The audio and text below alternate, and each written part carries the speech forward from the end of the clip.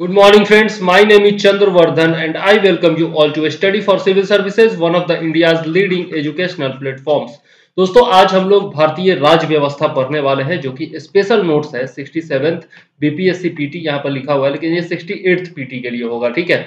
और यह जो है आपका 67th जो मेन्स होने वाला है उसमें भी यह काफ़ी काम आएगा, क्योंकि आज हम लोग पढ़ने वाले हैं संविधान की अनुसूचियों के बारे में। जो शेड्यूल्स है ना हमारे संविधान में, उनके बारे में आज हम लोग पढ़ने वाले हैं। टोटल ट्वेल्व शेड्यूल्स हैं हमारे संविधान में, आप भी जानते होंगे, ठीक है? और ये लास्ट मोमेंट रिविजन सीरीज़ है, इसलिए एकदम पेस में हम लोग चलेंगे फास्ट एकदम चलेंगे। और आप जानते ही हैं कि ये एस सी एस ज्ञान का प्लेटफॉर्म है, यानी कि स्टडी फॉर सिविल सर्विसेज़ का। यदि हमारे किसी पेड ग्रुप में आप ज्वाइन करना चाहते हैं, जो कि सिक्सटी सेवन पीटी के लिए हो, या फिर आपका सिक्सटी सेवन्थ मेन्स के लिए हो या फिर सिक्सटी एट्थ पीटी के लिए तो ये सब नंबर्स हैं, जहाँ पर आप कॉल कर सकते हैं व्हाट्सएप कर सकते हैं, ठीक है? तो चलिए देर न करते हुए शुरू करते हैं आज का अपना वीडियो और देखते हैं भारतीय संविधान के अनुसूचियों के बारे में। तो आइए देख लेते हैं, ये सब तो अनुच्छेद दिए हुए हैं, यहाँ से अनुसूचियाँ दी हुई हैं, ठीक है? तो आइए देखते हैं भारतीय संविधान की 12 अनुसूचियाँ जो है, उनके बारे में। जो पहली अनुसूची है, आपका जो फ़र्स्ट शेड्यूल है, उसमें राज्यों के नाम दिए हुए हैं, उनके न्यायिक क्षेत्र दिए हुए हैं, संघ राज्य क्षेत्रों के नाम दिए हुए हैं और उनकी सीमाओं के बारे में बताया गया है। मतलब जितने भी स्टेट्स हैं हमारे देश में, उनके नाम है और उनका जो न्यायिक क्षेत्र है जुडिशियल एरिया है, उसके बारे में बताया गया है। उसके अलावा यूनियन टेरिटरीज जो है, उनके बारे में और उनकी सीमाओं के बारे में बताया गया है। तो आप जानते हैं कि हमारे देश में टोटल 28 स्टेट्स है और 8 जो है वो यूनियन टेरिटरीज है, ठीक है? और यह जो है, इनसे संबंधित अनुच्छेद है एक से लेकर चार तक, ठीक है? उसके बाद अगर हम लोग सेकेंड अनुसूची की बात करें तो इसमें जो है परिलब्धियों पर भत्ते हैं, विशेषाधिकार है और इससे संबंधित प्रावधान, जिसमें भारत के राष्ट्रपति हैं फिर आपका राज्यों के राज्यपाल है लोकसभा के अध्यक्ष और उपाध्यक्ष हैं, राज्यसभा के सभापति और उपसभापति हैं, फिर आपके राज्य विधानसभाओं के अध्यक्ष और उपाध्यक्ष हैं, राज्य विधान परिषदों के सभापति और उपसभापति हैं, सर्वोच्च न्यायालय के न्यायाधीश हैं, उच्च न्यायालयों के न्यायाधीश हैं और भारत के सीएजी नियंत्रक एवं महालेखा परीक्षक भी हैं। ठीक है तो इन सब का, इन सब का जो वेतन और भत्ता है, वो इसमें दिया हुआ है। ठीक है, वेतन और भत्ता जितना भी मिलता है, टीए, डीए वगैरह जितना भी मिलता है, वो सब इसमें शामिल है, ठीक है? और तीसरी जो अनुसूची है, उसमें सबका शपथ और प्रतिज्ञान शामिल है, ठीक है? देखिए, सब पहले वैसे पद धारण करने से पहले आपका शपथ लिया जाता है, उसके बाद फिर आपका वेतन वगैरह होता है। लेकिन यहाँ पर उल्टा है, इसलिए इसको ध्यान में रखते हुए आप याद कर सकते हैं, ठीक है? तो ये उम्मीदवार कौन कौन है? इनमें कुछ ही लोग जो है, जो संवैधानिक पद पर स्थापित होते हैं या बैठते हैं, उनके बारे में, उनके शपथ और प्रतिज्ञान के बारे में दिया हुआ है, जिसमें संघ के मंत्री हैं, संघ के लिए निर्वा, संसद के लिए निर्वाचन हेतु अभ्यर्थी है, उसके अलावा संसद के सदस्य हैं, सर्वोच्च न्यायालय के न्यायाधीश है भारत के सीएजी हैं, यानी कि नियंत्रक एवं महालेखा परीक्षक, राज्य मंत्री हैं। राज्य विधान मंडल के लिए, निर्वाचन के लिए जो अभ्यर्थी होते हैं, वो है। उसके अलावा राज्य विधान मंडल के सदस्य हैं और उच्च न्यायालयों के न्यायाधीश है। तो ये कौन कौन उम्मीदवार किस लिस्ट में है, ये ज़रूर आपको याद रखना है। इसलिए मैंने स्टार मार्का लगा दिया, ठीक है? और इसके तहत जो है, आपका 75 है 84 है और बाकी सारे अनुच्छेद है, ये आप देख लीजिएगा। और इसके तहत भी जितने अनुच्छेद है, वो सब देख लीजिएगा। वैसे ये अनुच्छेद याद रखने की ज़रूरत नहीं है, ठीक है? जब हम लोग राष्ट्रपति, उपराष्ट्रपति वगैरह के बारे में पढ़ेंगे ना तो उनका जो शपथ और प्रतिज्ञान है, उससे संबंधित अलग अलग अनुच्छेद है तो उसको याद रखिएगा, ठीक है? चलिए, फोर्थ अनुसूची जो है, फोर्थ शेड्यूल जो है, उसमें राज्य और केंद्र शासित प्रदेशों के लिए राज्यसभा सीटों का क्या आवंटन होगा, यह उसमें दिया हुआ है, और इससे संबंधित अनुच्छेद है, अनुच्छेद चार और अनुच्छेद अस्सी, ये याद रखिएगा। उसके बाद है फिफ्थ शेड्यूल फिफ्थ शेड्यूल में क्या दिया हुआ है? अनुसूचित और जनजातीय क्षेत्र। देखो, यहाँ पर जो है राज्य और केंद्र शासित प्रदेशों के लिए है और यहाँ पर अनुसूचित और जनजातीय क्षेत्रों के प्रशासन, यानी कि गवर्नेंस और कंट्रोल के बारे में है, नियंत्रण के बारे में जितने भी उपबंध है, वो दिए हुए हैं, ठीक है?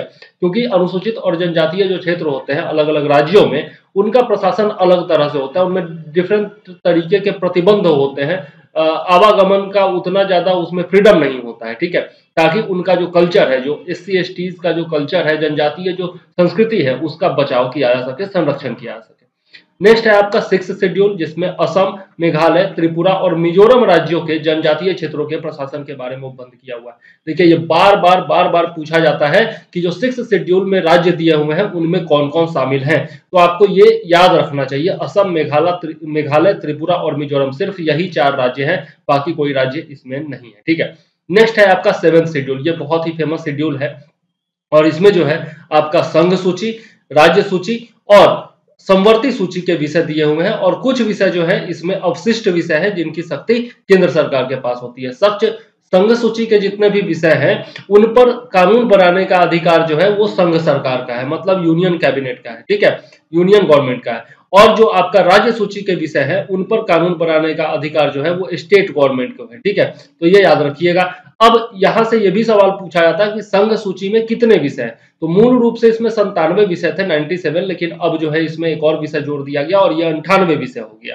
राज्य सूची की बात करें तो मूल रूप से इसमें 66 विषय थे, लेकिन अब जो है इसमें 59 विषय हो गए हैं मतलब विषय इसमें घटा दिए गए हैं। और समवर्ती सूची की बात करें तो मूल रूप से 47 सब्जेक्ट्स थे, लेकिन अब जो है 52 सब्जेक्ट्स हो गए हैं।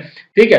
तो अच्छा यहाँ पर यह भी चीज़ जानना ज़रूरी है आपको कि संघ सूची और समवर्ती, संघ सूची और राज्य सूची, ठीक है? इसके बारे में जानना ज़रूरी है आपको। संघ सूची पर तो कानून बनाएगी केंद्र सरकार और राज्य सूची पर कानून बनाएगी कौन? राज्य सरकार। लेकिन समवर्ती सूची का जो विषय है, उस पर केंद्र भी कानून बना सकती है और राज्य भी कानून बना सकती है, ठीक है? संघ भी कानून बना सकता है और स्टेट भी। लेकिन अगर दोनों एक ही विषय पर कानून बनाता है तो फिर दोनों में यदि टकराव हो जाता है, दोनों कानून एक दूसरे के खिलाफ यदि हो जाते हैं तो जो संघ का कानून होगा, वही वैध होगा, वही मान्य होगा, या याद रखिएगा। तो यहाँ पर हमारा यूनिटरी फॉर्म ऑफ़ गवर्नमेंट थोड़ा सा झलकता है, ठीक है? उसके बाद जो है, वैसे हमारा फेडरल स्ट्रक्चर है, लेकिन यूनिटरी फॉर्म ऑफ़ गवर्नमेंट की झलक यहाँ पर दिखाई देती है। नेक्स्ट है आपका एट्थ शेड्यूल एट्थ शेड्यूल में संविधान द्वारा मान्यता प्राप्त पहले तो चौदह भाषाएँ थी, लेकिन अब जो है बाईस भाषाएँ हो गई हैं तो इन बाईस भाषाओं का उल्लेख है, ठीक है? ये सब भाषाएँ हैं, वो आप देख लीजिएगा। लेकिन इसमें जो है आपको याद क्या रखना है? तो यहाँ पर याद रखना है कि आपको कोंकणी, मणिपुरी और नेपाली को 1992 में इकहत्तरवे संशोधन अधिनियम के द्वारा जोड़ा गया और बोडो डोगरी मैथिली और संथाली को 2003 के बावनवे बानवे मतलब नाइन्टी सेकेंड संविधान संशोधन अधिनियम के द्वारा जोड़ा गया था, ठीक है? तो ये ज़रूर याद रखिएगा, ये लेटेस्ट संशोधन है और सबसे लास्ट में कौन सी चार भाषाएँ जोड़ी गई, यह बराबर क्वेश्चन पूछा जाता है, ठीक है? तो स्टार मार्क का मैं लगा देता हूँ। ये भी याद रखना है कि उड़िया का नाम बदलकर ओडिया कर दिया गया 2011 में। ठीक है? और जो संविधान सम्मत भाषाएँ हैं, उनके बारे में 344 और तीन अनुच्छेद है। आपका जो यूनियन लिस्ट स्टेट लिस्ट और आपका जो संवर्ती सूची है, उसके बारे में 246 है। ये सब आपको याद रखना चाहिए। चलिए, आगे देख लेते हैं। नाइनटीन, नाइन्थ सूची जो है, नाइन्थ शेड्यूल जो है, इसमें भू सुधारों और जमींदारी प्रणाली के उन्मूलन से संबंधित राज्य विधानमंडलों और अन्य मामलों से संबंधित संसद के अधिनियम और विनियम मूलतः तेरह थे, लेकिन अब जो है दो हो गए हैं। इस सूची को पहले संशोधन अधिनियम उन्नीस सौ इक्यावन के द्वारा मूल अधिकारों के उल्लंघन के आधार पर न्यायिक समीक्षा से, इसमें सम्मिलित कानूनों से इसे बचाने के लिए जोड़ा गया था। कहने का मतलब यह है कि नाइन्थ शेड्यूल में जो भी विषय डाल दिया जाएगा, उसका जुडिशियल रिव्यू संभव नहीं है, ठीक है? जुडिशियल रिव्यू या फिर स्क्रूटनी जो है वो इसमें संभव नहीं है। मतलब इसमें अगर कोई कानून डाल दिया गया और वह अगर आपके मौलिक अधिकार का उल्लंघन भी करता है तो भी आप न्यायालय में नहीं जा सकते हैं। ठीक है, ये दरअसल जो गवर्नमेंट्स हैं, उनके बचने का एक प्रावधान है कि मूल अधिकार का हनन भी यदि वो करते हैं तो वो बच सकते हैं जुडिशियल रिव्यू से। ठीक है तो यह जो है एक तरह का ढंग का चीज़ तो नहीं है, लेकिन फिर भी नाइन शेड्यूल जोड़ा गया था और खास करके जोड़ा गया था जवाहरलाल नेहरू जी के द्वारा पहले संशोधन के लिए, जब जमींदारी का उन्मूलन करना था। क्योंकि जमींदार, जमींदारों से जब ज़मीन ली जा रही थी तो हो सकता था कि जमींदार जो है वो कोर्ट के पास चले जाए और उनका जो जमींदारी उन्मूलन का कानून था, वो नहीं चल पाता। तो इस कारण से उन्होंने नाइन शेड्यूल बना दिया, ठीक है?